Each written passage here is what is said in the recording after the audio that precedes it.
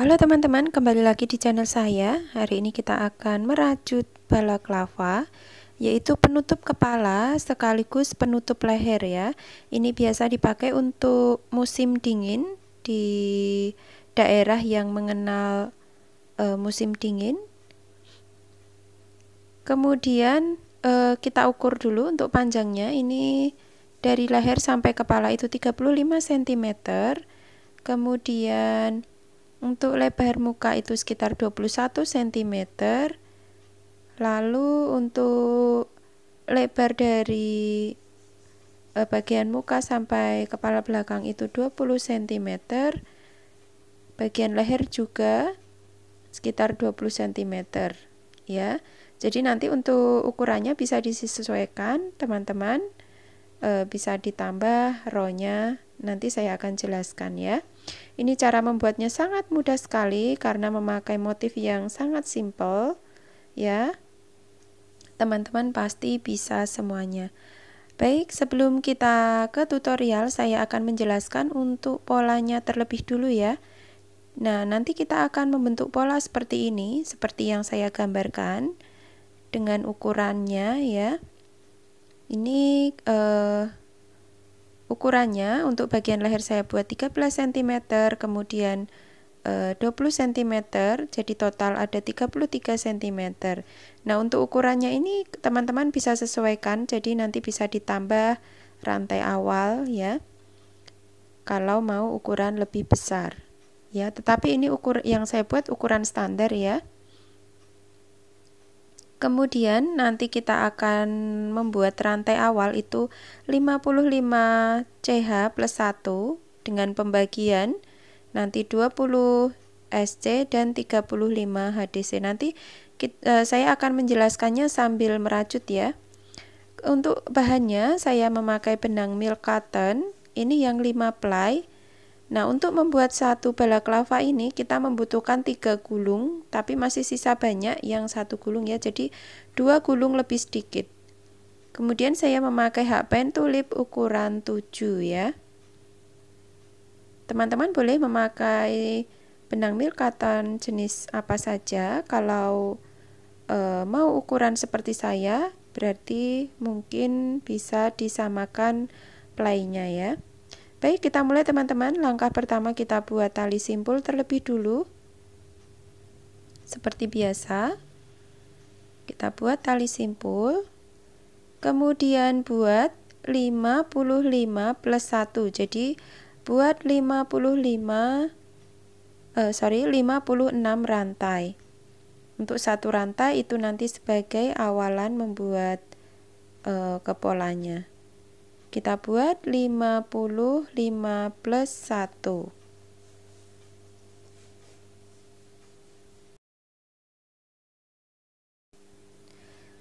Setelah mendapat 56 rantai, kita buat half double crochet di lubang kedua.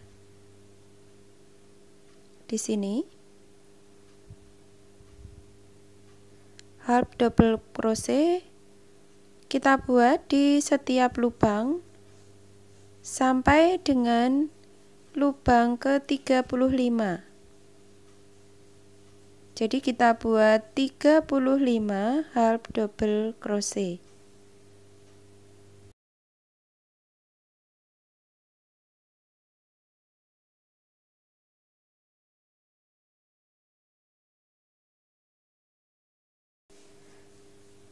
Baik teman-teman, saya sudah mendapat 35 HDC. Kemudian di lubang selanjutnya, tersisa 20 lubang, kita buat single crochet. Jadi untuk 20 lubang terakhir kita isi dengan 20 uh, eh, single crochet ya.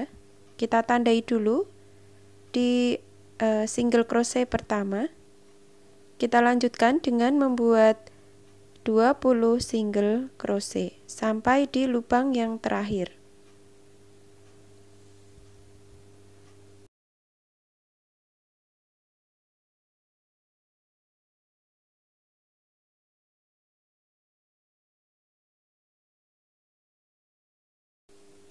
Saya sudah sampai di lubang terakhir, kemudian rantai satu. Kita putar, kemudian buat single crochet back loop. Jadi hanya di bagian back loopnya saja ya. Buat 20 single crochet. Kita buat di masing-masing lubang single crochet back loop sampai di e, tanda tadi, tanda marker yang kita buat ya. 20 single crochet back loop.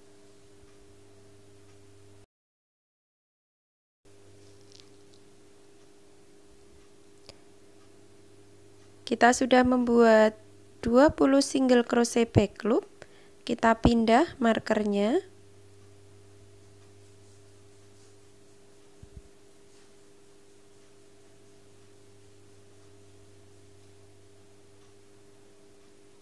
Kemudian di lubang selanjutnya lanjutkan dengan HDC back loop sampai di ujung. Jadi untuk pola di bagian leher itu yang single crochet back loop. Untuk pola yang bagian kepala itu HDC back loop ya. Kita lanjutkan HDC back loop sampai di uh, ujung bagian atas ya. Nah, teman-teman, ini sudah di lubang yang terakhir. Ya. Seperti ini. Kemudian kita buat dua rantai. Jadi untuk mengawali HDC kita buat dua rantai, untuk mengawali SC kita buat satu rantai. Di lubang yang pertama, kita buat lagi half double crochet back loop.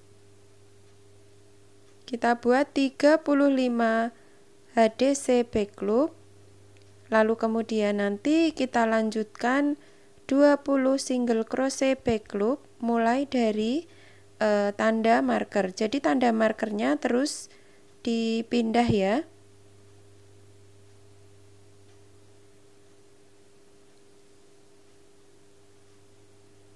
Baik, kita lanjutkan sampai sini. HDC kemudian mulai dari marker single crochet back loop. Kemudian balik lagi ke atas mulai dari SC kemudian HDC. Nah, nanti kita akan membuat 8 row ya. Jadi saya akan skip teman-teman lanjutkan sampai 8 row. Nah, teman-teman, ini saya sudah membuat 8 row dengan pola yang sama.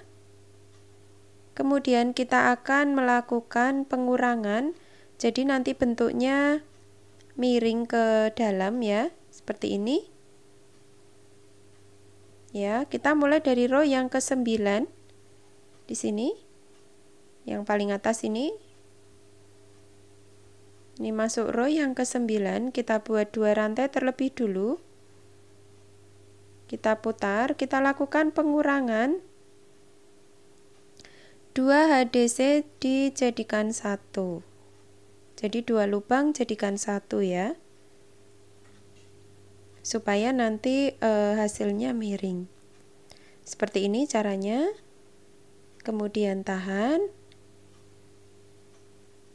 Lalu masukkan lagi. Seperti ini kemudian keluarkan semuanya. Seperti ini ya teman-teman. Kemudian kita lanjutkan dengan membuat HDC back loop lagi. Jadi nanti totalnya ada 34 karena sudah dikurangi satu loop ya. Kita lanjutkan sampai di tanda marker. Untuk kemudian nanti kita lanjutkan membuat single crochet back loop. Jadi untuk yang bagian single crochet tidak berubah ya, hanya lakukan pengurangan di bagian atas saja. Kita balik ke sini kemudian balik lagi ke atas ke row 10 ya. Nah, ini sudah menyelesaikan row yang ke-10. Untuk yang row yang ke-10 ini kita tanpa pengurangan yang bagian atas ini. ya.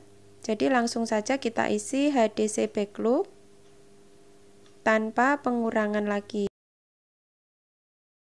Kita lakukan pengurangan lagi di row yang ke-11.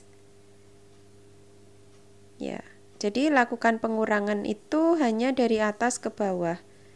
Kita lakukan pengurangannya di row ke-9, ke-11, dan ke-13 rantai 2 kemudian 2 HDC jadikan 1 caranya sama seperti tadi. Tahan kemudian masukkan lagi ambil. Seperti ini kemudian tahan keluarkan. Kemudian kita lanjutkan lagi dengan membuat HDC back loop jadi karena kita sudah melakukan dua kali pengurangan jadi tinggal 33 loop ya 35 dikurangi 2 nah kita lanjutkan. Sampai di tanda marker untuk kemudian lanjutkan dengan membuat single crochet back loop sebanyak 20 kemudian kembali lagi di row yang ke-12 untuk naik lagi ke atas itu row ke-12. Sampai sini lagi tanpa pengurangan.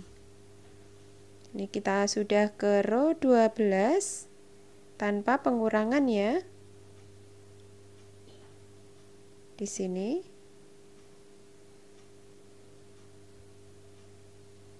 Kemudian ini kita masuk row yang ke-13 buat dua rantai kemudian lakukan pengurangan lagi 2 HDC dijadikan satu.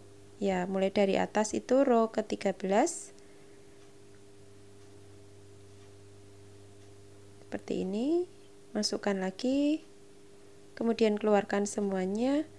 Lanjutkan membuat HDC back loop berarti ini uh, sudah tiga kali pengurangan jadi tinggal 32 HDC back loop. Lakukan sampai sini kemudian kembali lagi ke atas.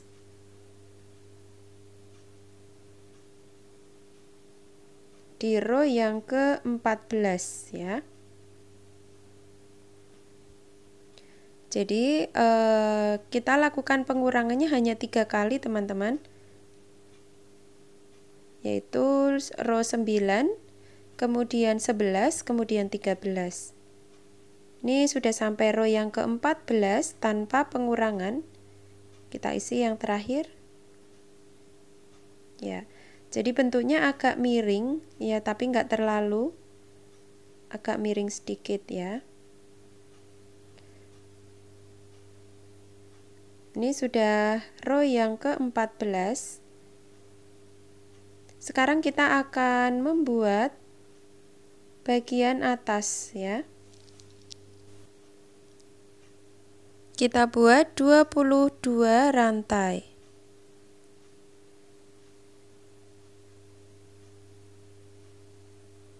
Dua puluh dua rantai. Tarikan rantainya tidak usah terlalu kencang ya teman-teman. Jadi supaya eh, tidak mengkerut dan sama tarikannya dengan membuat HDC. Jadi nanti kita akan eh, menempelkannya seperti ini atau menjahitnya seperti ini. Pastikan pas ya ukurannya, panjangnya. Nah, seperti ini.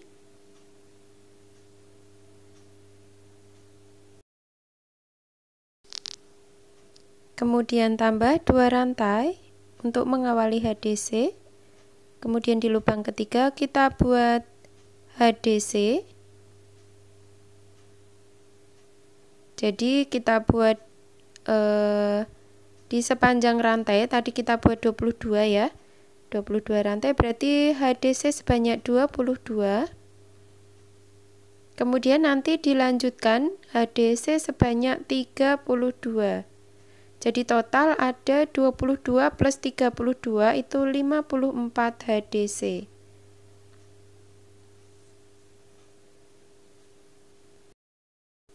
Nah, ini teman-teman sudah sampai sini, kita lanjutkan saja membuat HDC back loop. Seperti ini. Kita lanjutkan sampai di tanda marker.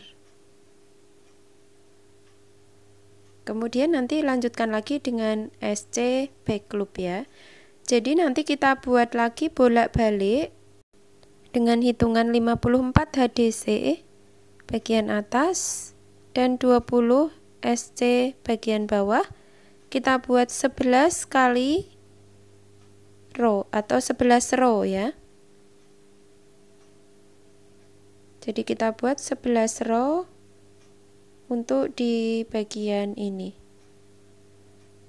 Ini saya akan skip ya teman-teman. Silahkan teman-teman lanjutkan sampai row yang ke 11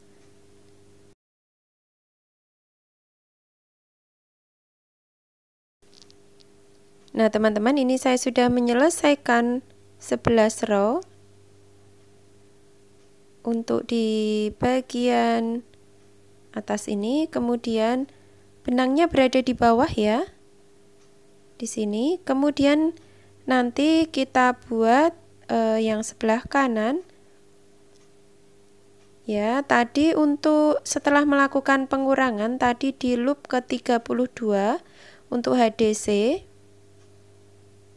ya jadi nanti kita buat dari sini supaya sama.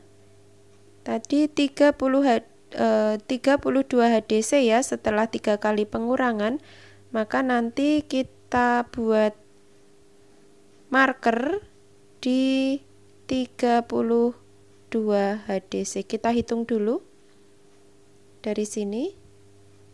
32 HDC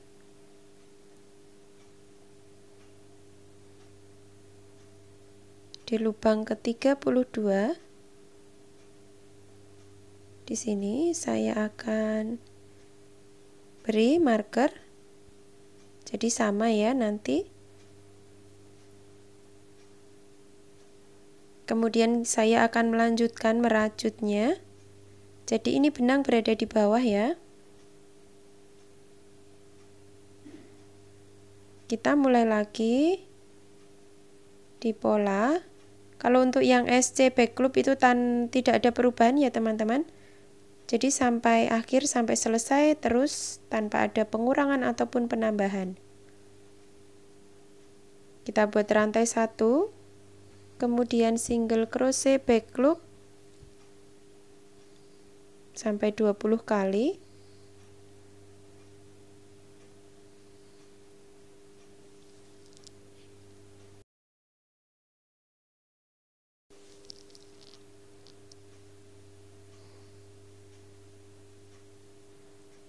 Kita sudah sampai di tanda marker, lanjutkan dengan HDC back loop.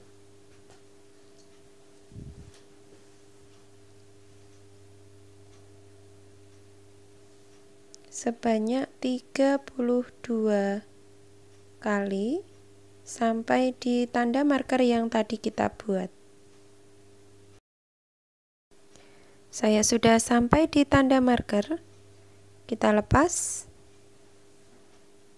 kita buat HDC back loop di sini. Kemudian di row selanjutnya saya akan melakukan penambahan. Kalau tadi pengurangan di sini, nah di bagian sini saya akan melakukan penambahan agar naik ya. Rantai 2, kemudian kita balik di loop, eh, di lubang pertama di sini saya tidak mengambil back loop ya, jadi dua helai sekaligus. Buat dua HDC dalam satu lubang. Seperti ini. Kemudian lanjutkan dengan membuat HDC back loop sampai di tanda marker.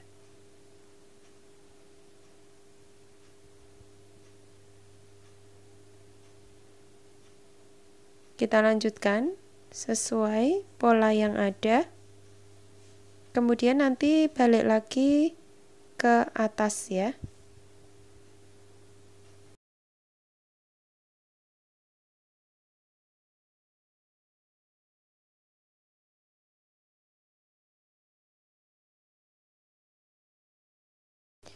Nah, ini saya sudah balik lagi ke atas di bagian atas.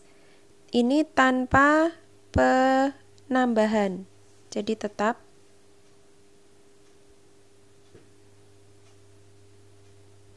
ya. Jadi e, kita selingi satu row tanpa penambahan. Di row selanjutnya kita lakukan penambahan lagi buat dua rantai. Kemudian kita putar Lalu di lubang pertama buat 2 HDC ya ini tidak back loop tetapi lubangnya saya ambil semuanya. Kemudian lanjutkan. HDC back loop sampai tanda marker sama polanya seperti tadi. Kemudian naik lagi tanpa penambahan. Ini sudah mendapat uh, tiga row. Kemudian row yang keempat ya itu tanpa penambahan kemudian nanti penambahan lagi row yang kelima kemudian keenam tanpa penambahan jadi ada tiga kali penambahan sama dengan sisi sebelah kiri. Kalau sisi sebelah kiri pengurangan, sisi sebelah kanan penambahan. Ya. Jadi saya ulangi ya penjelasannya. Untuk yang tanpa penambahan itu row ke-27, 29, 31, kemudian yang penambahan itu row ke-28, 20, eh, 30 dan 32 ya. Jadi total ada 6 row sama seperti bagian kiri. Jadi nanti berakhir di bagian bawah. Nah, ini saya sudah mendapat 6 row sampai row ke-32 ya.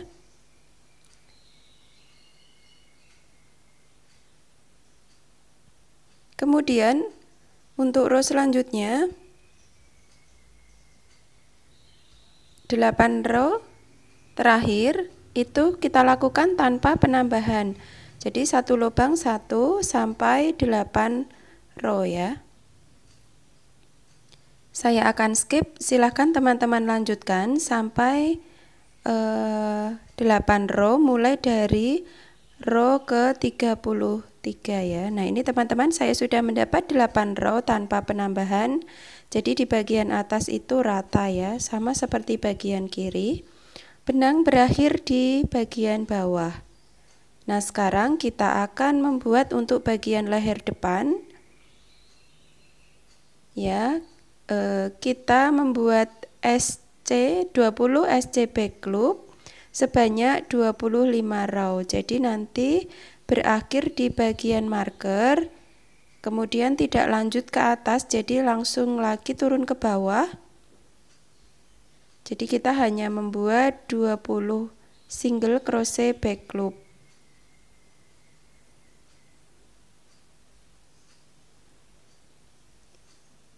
Nah, ini sudah sampai di tanda marker. Kita lepas markernya, kemudian rantai satu kemudian putar lagi ke bawah di lubang pertama buat single crochet back loop lagi seperti ini terus hingga 25 row ya untuk eh, panjang lehernya teman-teman bisa sesuaikan bisa diukur dulu ya apabila terlalu sempit, teman-teman bisa menambahkan row-nya untuk bagian leher. Apabila terlalu longgar, teman-teman bisa mengurangkan row-nya. Nah, teman-teman, ini saya sudah mendapat 25 row untuk bagian leher depan. Nanti kita akan menggabungkannya seperti ini. Saya akan menggabungkannya dengan cara slip stitch.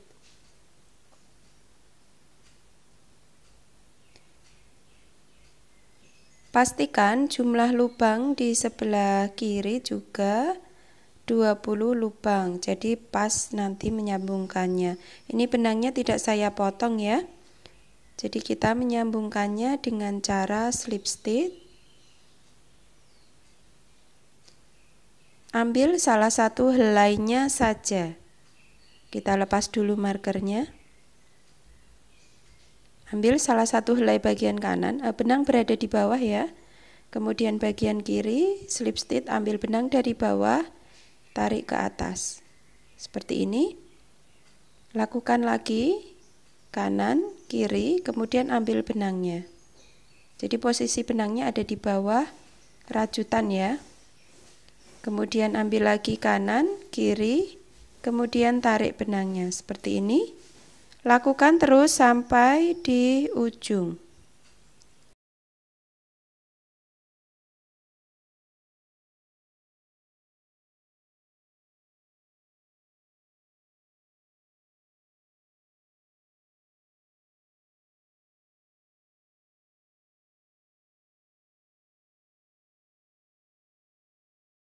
Teman-teman, saya sudah di lubang yang terakhir. Kemudian kita potong benangnya. Kita rapikan ujung-ujung benangnya dengan jarum tapestri, masukkan atau selipkan di eh, sela-sela uh, rajutan ya. Hasil sambungannya seperti ini. Ini nanti akan menjadi bagian di lu, uh, luar. Jadi slip stitchnya bisa menjadi bagian dalam ya.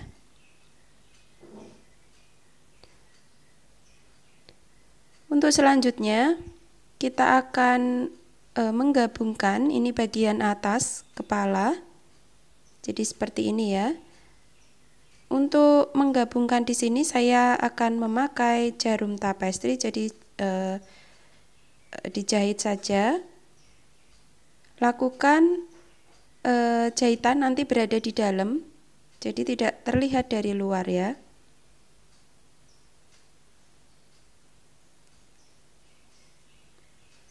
Pakai jarum tapestri yang lubangnya besar ya. Ini e, jarum yang terbuat dari aluminium. Nanti untuk link pembeliannya saya sertakan di deskripsi ya teman-teman. Kita jahit seperti biasa, jahit seperti ini saja. Kita talikan dulu ujung benangnya.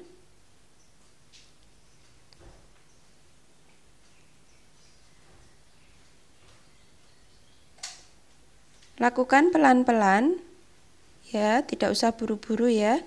Pastikan rapi dan tidak ada lubang, jadi benang terlihat rapi dari luar nantinya.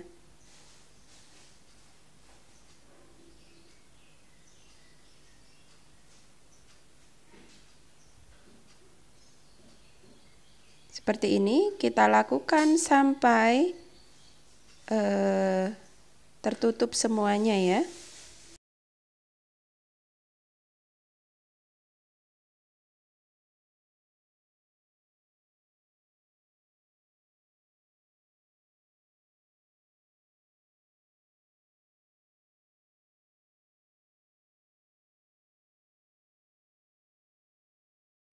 Nah teman-teman ini saya sudah sampai ujung. Kemudian kita rapikan ujung benangnya. Ya caranya seperti ini. Kita simpulkan. Kemudian rapikan ujung benangnya kita sisipkan di jahitannya ya. Pastikan tidak terlihat dari luar dan kuat ya. Jadi kita sisipkan kemudian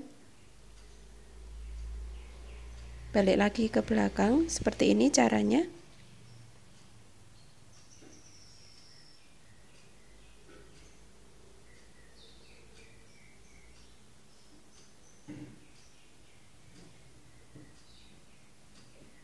Kita potong ujung-ujung benangnya.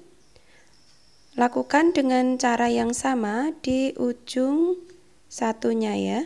Nah ini terlihat dari luar terlihat rapi ya rapat kita lakukan hal yang sama di bagian sini. Nah, teman-teman, ini saya sudah selesai di kedua sisi. Kemudian kita balik seperti ini. Nah, ini tampak dari luar.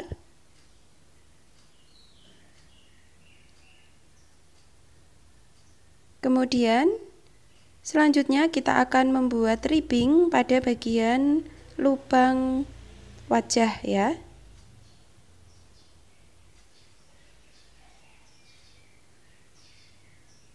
Kita mulai dari sini.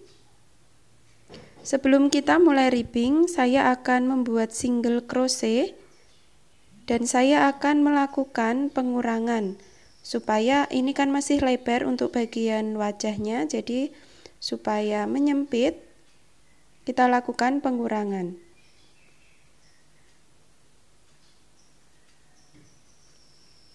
Kita talikan dulu, kemudian rantai satu,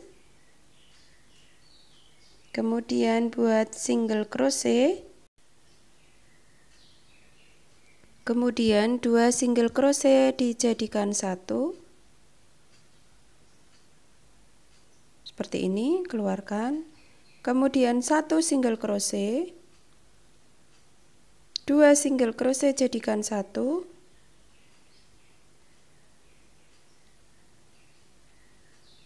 satu single crochet dua single crochet jadikan satu. Jadi e, polanya itu satu e, single crochet kemudian pengurangan satu single crochet pengurangan dan seterusnya.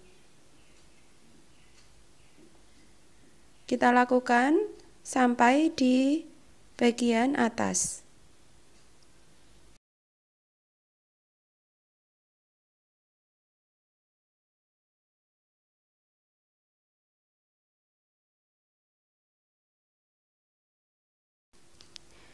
Nah, untuk di bagian atas ini polanya agak sedikit berbeda.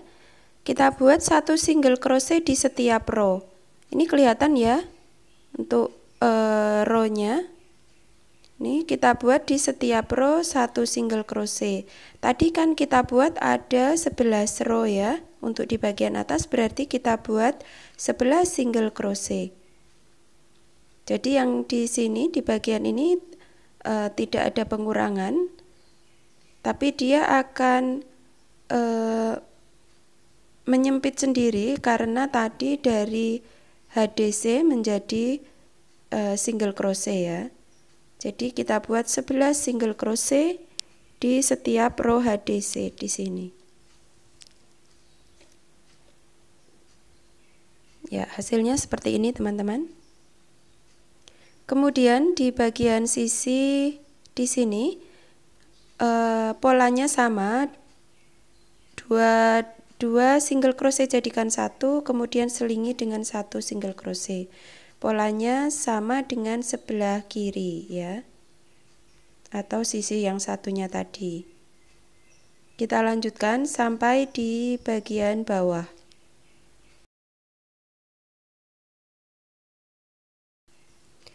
Saya sudah sampai di bagian bawah. Untuk di bagian bawah polanya tetap kita melakukan pengurangan ya. Dua single crochet jadikan satu kemudian satu single crochet. Ini kelihatan setiap row-nya ya teman-teman. Jadi setiap dua row kita jadikan satu seperti ini.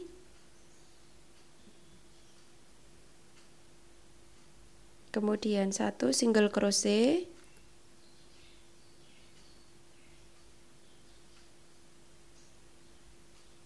seperti ini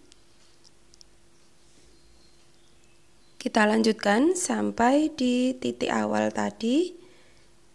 Kita buat single crochet.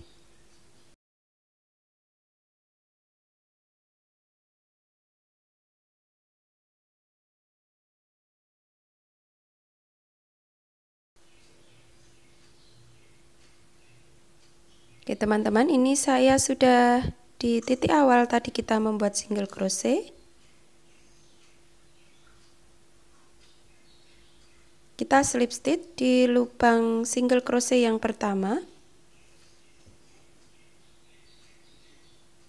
Hasilnya seperti ini.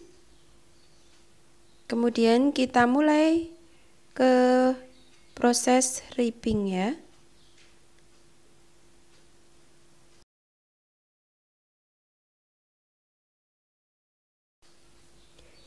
kita mulai dengan membuat 6 rantai 2, 3, 4, 5, 6.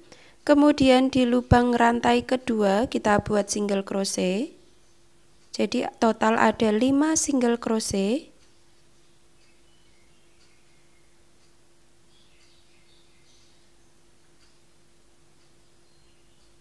Seperti ini.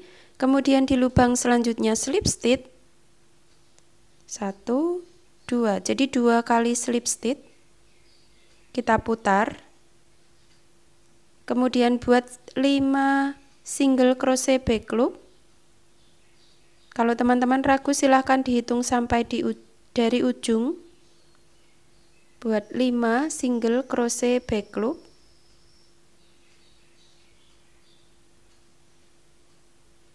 seperti ini kemudian buat satu rantai. Putar. Di lubang pertama buat single crochet back loop 5, 5 kali. 1 2 3 4 5 kemudian slip stitch di lubang selanjutnya.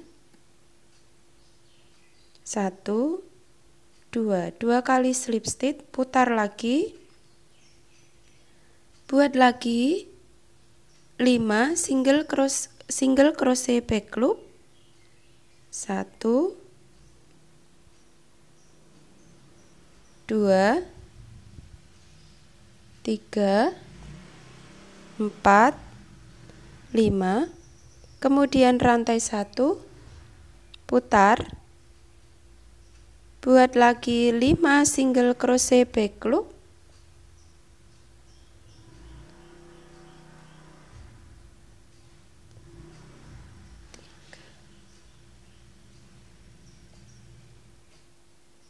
kemudian slip stitch lagi dua kali. Nah teman-teman caranya seperti ini. Ini sudah mulai kelihatan pola rippingnya lakukan sampai satu putaran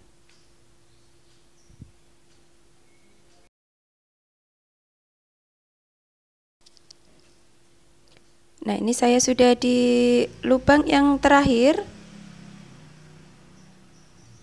Kita buat rantai satu, kemudian kita tarik benangnya agak panjang untuk nanti menjahit ke sisi satunya ya. Jadi kita rapikan lagi dengan jarum tapestri.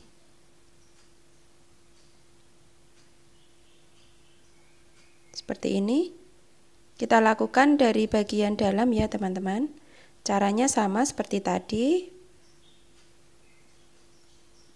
Waktu menyatukan ya, tinggal dijahit saja. Kemudian nanti rapikan ujung benangnya.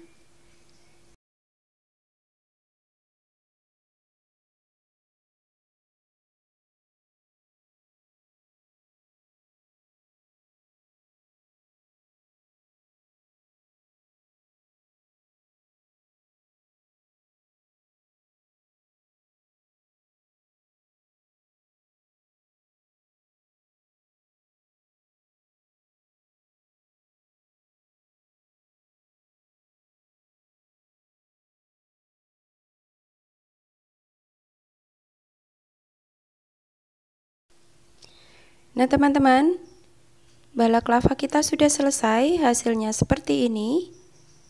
Ya, dengan demikian tutorial ini sudah selesai. Semoga teman-teman menyukainya dan bermanfaat. Sekian untuk tutorial kali ini. Jangan lupa klik subscribe, like, dan apabila ada pertanyaan silahkan tinggalkan di kolom komentar. Sampai jumpa di tutorial selanjutnya. Terima kasih.